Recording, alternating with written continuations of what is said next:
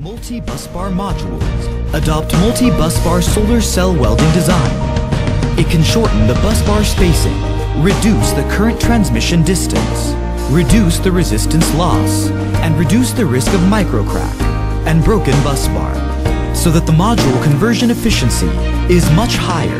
Welding round busbar is adopted to effectively reduce the shading area and the amount of busbar used. It has lower temperature technology and good low light response and higher system power generation. Thus, it can lower photovoltaic cost per kilowatt hour. The product has high performance cost ratio with wide application range so that the user has a large profit, will improve the ecological environment and create a green future